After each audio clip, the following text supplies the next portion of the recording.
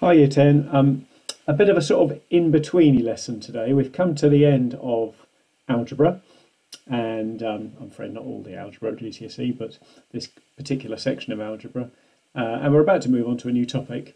Um, I just want to do a couple of sort of finishing off type questions before we leave algebra and then I also today want to sort of introduce the next topic and get us going on that. Um, I'm not really planning to do an end of unit test but I might towards the end of next week set a little sort of summary homework, only short, uh, just looking at some of the key techniques from the algebra topic. I'm conscious that your books are sitting in my cupboard, um, and uh, I hope you can understand that you know if we uh, if we posted home everyone's exercise book from every subject, that would probably bankrupt the school. So I'm you know, that's one of the reasons I'm sort of resisting doing an end of unit test. Anyway, here's a starter question for you. I hope after the last couple of lessons that we've done you could answer these two questions. So with this one here, you are going to hopefully divide by minus 5. Um, and then it's asking about integer values. And then this one, a little bit more straightforward to solve, but then you've got to show it on a number line and write it using set notation. Pause and have a go. Okay, so with this one, I divided by minus 5 and because that was a negative number, I had to flip the signs. So minus 10 divided by minus 5, minus divided by minus gives you positive, so that's 2. And 5 divided by minus 5 is minus 5. And, and this statement makes sense. Uh, x is smaller than 2 but bigger than minus 5, bigger than or equal to minus 5. But we tend to have these double inequalities, the signs facing the other way. So you might have chosen to rewrite it that way. So in terms of integer, sol integer solutions, x is between minus 5 and 2. It can be minus 5, but it can't be 2. So I'm hoping this was your list of integer solutions. Um, with this one here, I added 3 to here and here as well as here. So number line would look like this and open dot at 0 and a closed dot at 9 joined up. Sorry, I should have my ruler ready. There we go. And set notation, well, I seem to remember saying um, I've never seen a, a, question with a double inequality and set notation. Here we are, here's one. So, curly brackets, x colon, and I'm just going to put that statement.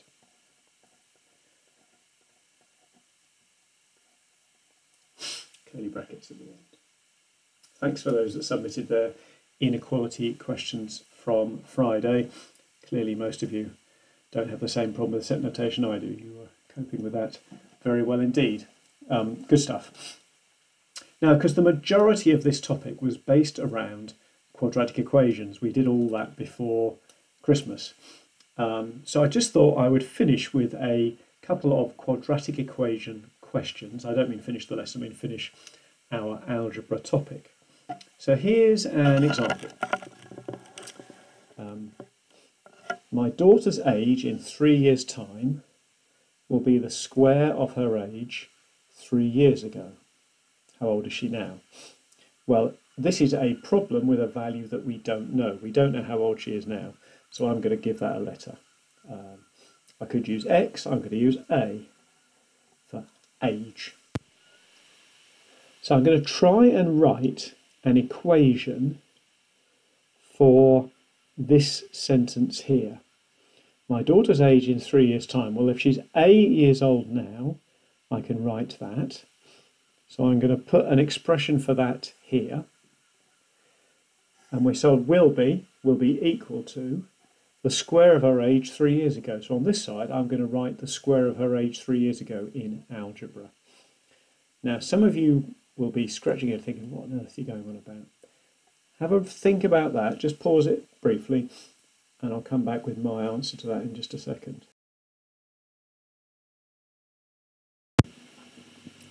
My daughter's age in three years' time will be the same as her age three years ago, a minus 3 squared. The square of her age means squared. So that's my equation.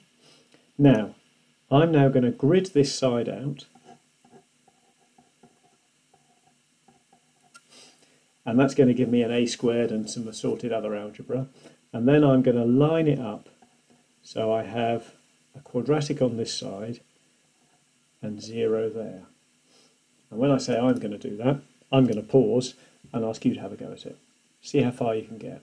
We're going to solve it in a moment, but see if you can get to the quadratic that we need to solve first. I'm sure I've said before, if you just run these videos from beginning to end, you'll never have a chance to think for yourself. So please make sure you are pausing as, at the points I suggest. So I'm hoping you gridded that out and then you peanutted and you got a squared minus 6a plus 9. Okay? And so we know that this is equal to that, so this is equal to that. These two are the same thing. I then, because it's a quadratic equation, know I want 0 on one side, and because I've got most things on this side, I'm going to go for 0 here. So I'm going to take away an a and take away 3 from both sides. I did that in one go. Hope that was all right. So I took away an a, so I already had minus 6a, so that's minus 7a. And I took away 3, so that made the 9 into 6. I'm going to solve this equation now. Um, you could have used the formula. A is 1, B is minus 7, C is 6. Actually, this one factorises quite nicely. If I gridded that out, would give me this, because you'd have minus 6 times minus 1 giving you plus 6, and you'd have minus 6a minus 1a. So my two solutions are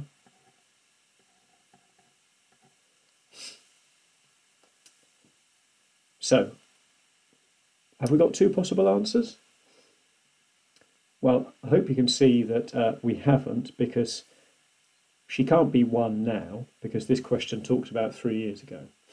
So we haven't made a mistake, it's just that's not a valid answer. Let's just test with A is 6. So in three years' time she's going to be 9. Three years ago she would have been 3 and 3 squared is 9. Yes, that works. That works.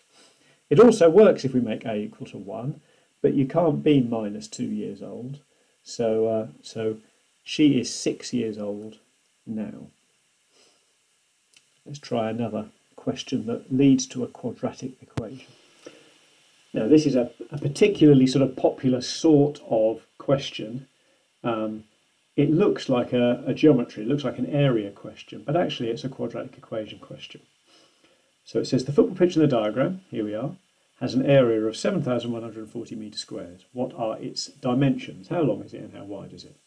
We don't know how long and how wide they are, but we know that it's equal to some missing value, 4x plus 5 along the length and 3x minus 7 along the, uh, the width.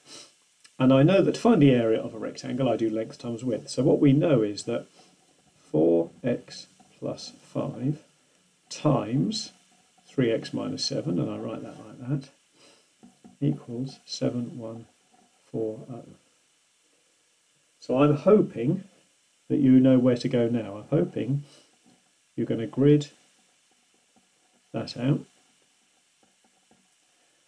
And then once you've grid it, gridded it out, you're going to write that and then you're going to take away 7140 to give a zero there. And then we're going to try and solve it. So go on, see if you can get to the point where we need to solve it.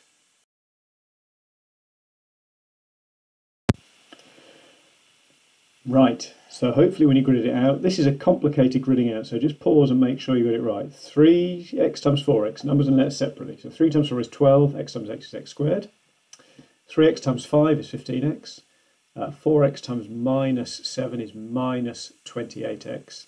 And 7 times minus 5, remember we're multiplying, is minus 35x. When you peanut, uh, you've got 15x's take away 28x's, which is minus 13x's. So we get this rather horrible looking quadratic. If I then take away 7,140 from both sides, minus 35, take away another 7140, gives you 7175. And I was hoping, I have to say, when I set this one, that at this point we'd be able to divide by something to make it a whole lot easier. Nuh-uh. Unfortunately, no. Now it probably is one that you can factorise, but uh, I'm going to use the formula. Now I already know I'm going to have to deal with some pretty big numbers. Um, I need to be really careful. I remember that b is minus 13. So uh, go on, see if you can um, A reminder of the formula again. See if you can get somewhere with that. You're going to have to use a calculator. Hopefully you uh, have access to some sort of calculation device, whether it's your own calculator or on a phone. See how far you can get with that.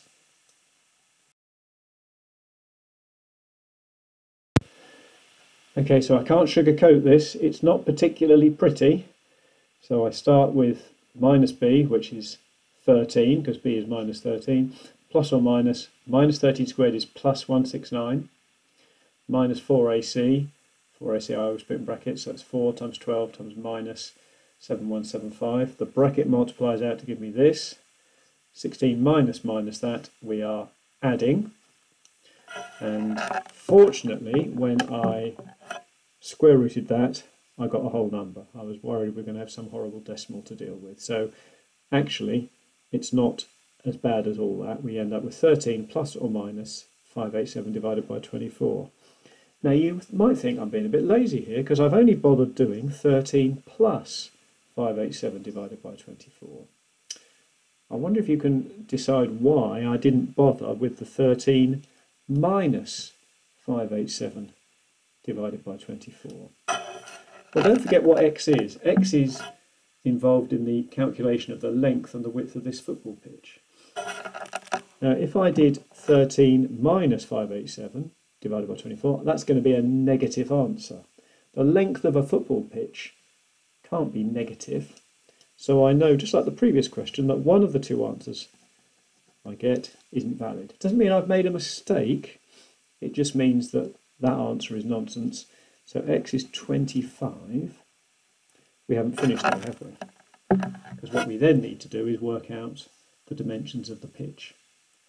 So x is 25, so 4 lots 25 that's 100, so you've got 105 metres by uh, 3 lots of uh, 25 is 75, take away 7, uh, that's uh, 68 metres. Because football pitches are, um, they're not standard length, you are have a, a, a, range of acceptable values for the length and the width. Um, 105 seems quite long to me, I have to say. 68 seems quite wide, actually. I mean, I know um, Anfield is famously wide, um, but uh, yeah, I think I'd be surprised if even Anfield was that wide. Anyway, uh, that was the answer to that question. Now, I haven't done those questions at the end just to sort of scare you. Um, I wanted to sort of bring it back full circle almost. We started by solving quadratic equations. I thought it was good to finish. These skills, though, that we've learnt, the quadratic equations, the simultaneous equations, the inequalities, they crop up again through the course. So um, it's, it's you know, the first time we've met them, a lot of them anyway, has been now, but it's quite nice because they keep popping up and we get to practice them again.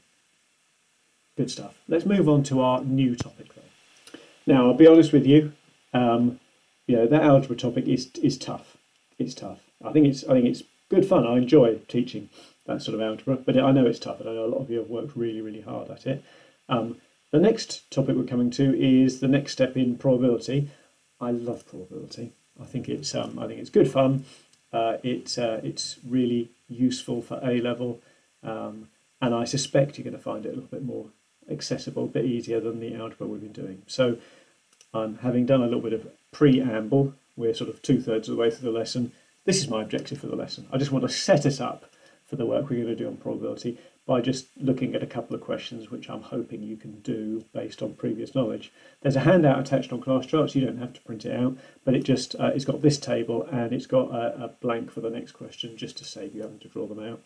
Not all of you got printers and some of you would rather do your notes in your uh, whatever paper you're writing on, but that's absolutely fine. So here's the first question. This is a two-way table. You've got to complete the table. It's a survey where a number of boys and girls were asked about whether or not they wore glasses, and um, you've got to complete the table, and then you've got a probability question, or two probability questions to answer. So I'm not going to do any sort of explanation of this. I'm hoping that you'll be able to do this on your own. Pause the video, have a go.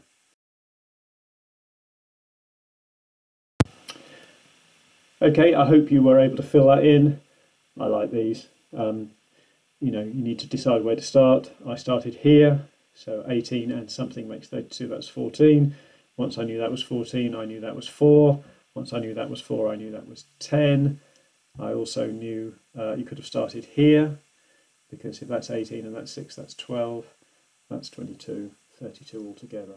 Uh, this is called a two-way table, and there's always two ways of checking got it right, because these two numbers and these two numbers have to add up to 32. Um, we pick someone at random, so everyone has an equal chance of being picked. So with 32 students, these answers are both going to be fractions out of 32.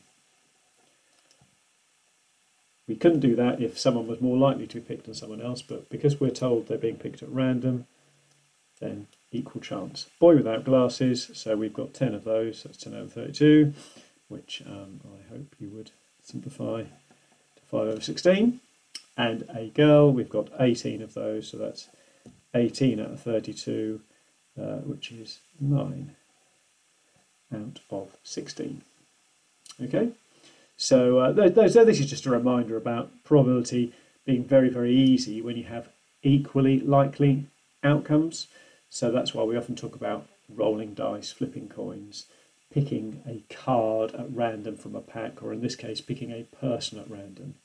In those cases, probability is really easy. You can just write down the probability as a fraction.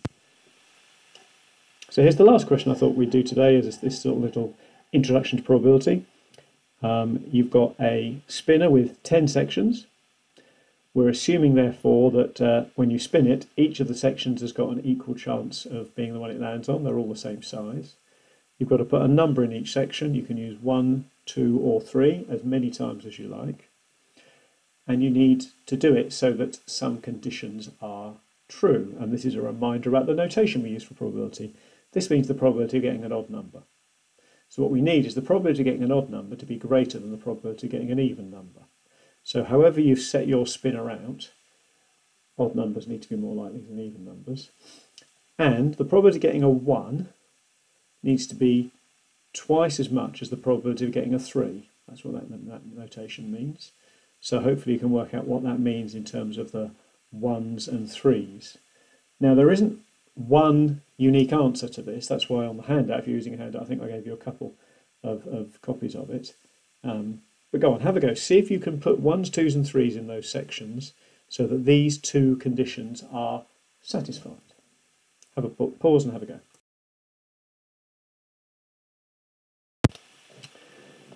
Now I have to say, I find this statement really hard to get my head around. I, am always struggling to work out whether I need more ones or more threes the probability of getting a 1 is twice the probability of getting a 3. So it's more likely to get a 1. So I need more 1s. Twice as many 1s as 3s. So I had two threes and four ones. Uh, that meant in total I had six odd numbers. I filled in the rest with 2s. So there were four even numbers. So this was also true. Probability of getting an odd number is 6 out of 10, 3 fifths. Even number, 4 out of 10, 2 fifths. Now, I don't know if you did the same as me, um, or whether you did it differently. Um, have a think about whichever way. If you did it differently, it might be that my way um, is the only other way of doing it. But just have a think, are there other options that we could consider for this problem? Last question. Pause and have a go. So I'm using a different colour for a different go. If I have 1, 3, that means I'd have to have two ones because the probability of getting a one is twice the probability of getting a three. And that means the rest all have to be twos. So I'd have seven twos. So this condition would no longer be true. So I can't have one three. We already know you can do it with two threes. What about if I had three threes? So that would mean I would need six ones because the probability of one needs to be twice the probability of three. So one, one, 1, 1, 1, 1, and that would leave the remaining one as a 2. Now, does that still work? It does, doesn't it? The probability of 1 is twice the probability of 3, and you are far more likely in this case, 9 out of 10, to get an odd number than 1 out of 10 to get an even number. Now, what about four threes? Well, if you had four threes, you would need eight ones. There aren't enough ones. So we had two possible answers there. Well done if you got both of them. Okay, so uh, that's Monday's lesson done. We're going to move on then with probability. Nothing to submit for today. and um, I look forward to seeing you all tomorrow.